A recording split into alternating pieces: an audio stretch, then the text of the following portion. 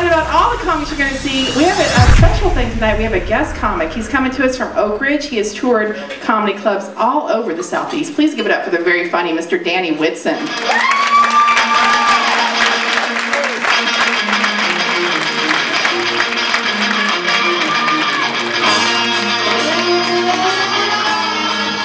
How you guys doing tonight? So guys, my name's Danny Whitson. I'm a local guy just right down the road from Oak Ridge. Any Oak Ridges out here? Yeah! That's where they built the first atomic bomb, folks. Yeah.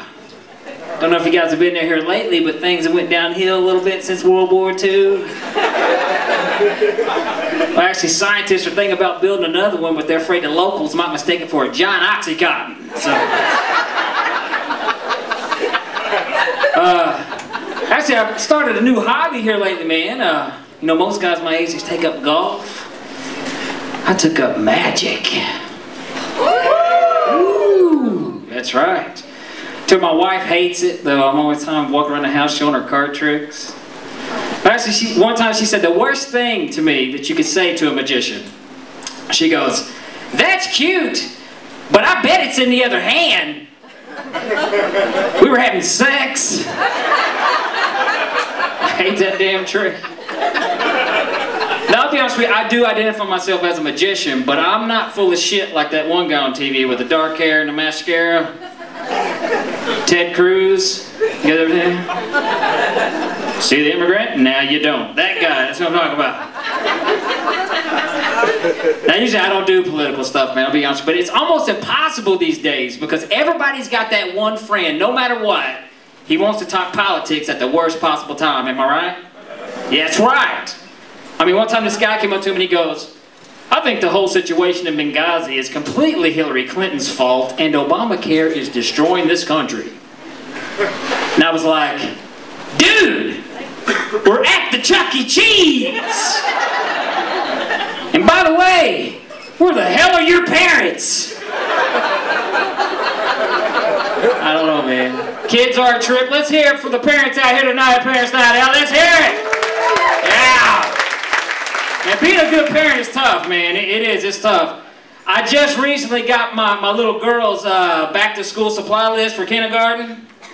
And I'm convinced her teacher is a doomsday prepper. That son of a bitch was this long. I'm just like, what the hell she need eight boxes of duct tape for, babe? I don't make no sense. But no, it's important to be good to your kids, guys, because you never know when you need them later in life. True? Right? Like the other day, I had to ask my four-year-old to bring me toilet paper. She came back with seven Q-tips. And she's smart, too, because she knows you can use them twice. But now she tests me, too. They'll test you. Like the other day, she was playing with a toy. She dropped her toy, looked me dead in the eye and goes, Shit, Daddy! I didn't want to. I didn't want to do it, but I had to do it. So I went in the back room and laughed my ass off. But not before I did tell her, I said, don't you ever say that again! Unless your mother's family's here. Uh, I'm trying to be a better dad, though. I'm trying to quit doing bad things, stupid stuff, like, you know, I'm trying not to drink so damn much. I do drink too much. Like, uh, nothing wrong with drinking tonight, though, folks. Be sure to drink tonight.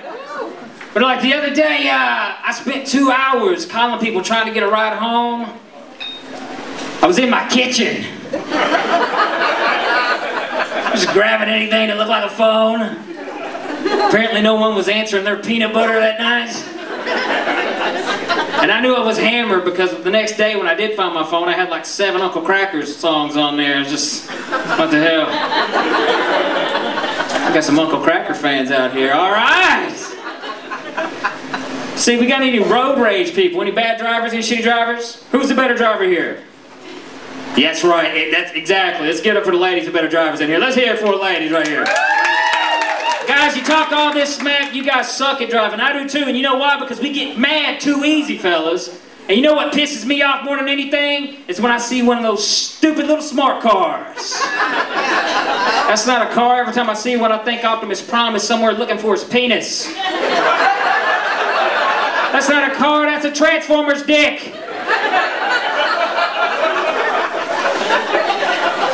Now seriously, true story, man. What's really weird, man, is getting road rage. That's a problem.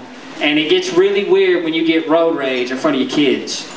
Because me, I don't cuss in front of my kids. I use substitute words. One time I'm going down the road, this little smart car driving along, cuts me off, I lose my brains. I drive right up next to the smart car, roll the window down. Hey! You're a silly goose!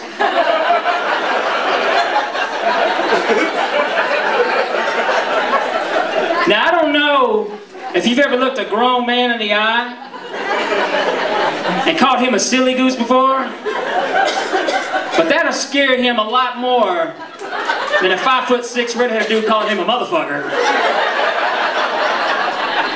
Even my little girl was in the back seat freaking out. She was like, shit, daddy! Guys, that's all my time. You guys are awesome. Guys, my name is Danny Whitson. You can find me on Facebook. You can also find me on Twitter at Super Magic Boy. Thanks a lot for coming out, parents. You guys are great.